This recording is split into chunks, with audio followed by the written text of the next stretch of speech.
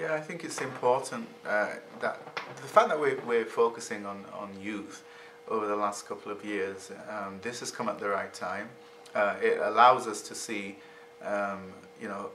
the interest that's being created by our youth programs, and I think you'll find that um, not only the boys, but um, the, the, amount of, of, young girls who are, who are beginning to show an interest in football, and, and we've got some very talented young players. Last year, the under 15 girls, who we didn't have a we haven't had a consistent program for them for quite a while, but they got to the quarterfinals of the under 15 World Cup qualifiers in Orlando. So we've been really pleased with the way that has, has gone, and, and I think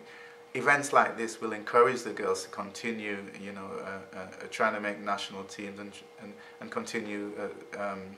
enjoying uh, and competing in, in football.